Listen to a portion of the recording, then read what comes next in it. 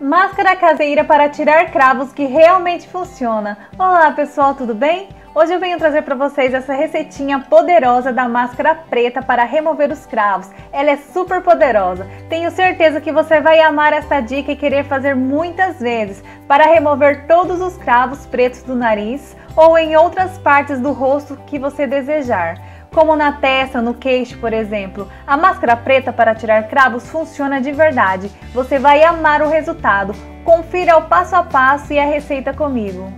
Ingredientes: você vai precisar de dois comprimidos de carvão ativado e uma colher de chá de cola branca escolar. Misture tudo e com o rosto bem limpinho, lavado com água morna para abrir os poros. Passe no nariz, na testa ou onde você tiver cravos e espere ela secar. Depois você vai tirando ela e vai vendo os cravinhos saindo. Faça todas as vezes que você sentir necessidade.